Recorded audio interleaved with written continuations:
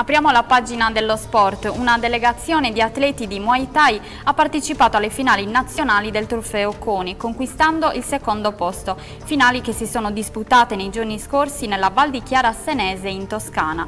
Oltre 3.100 atleti in una fascia tra i 10 e i 14 anni.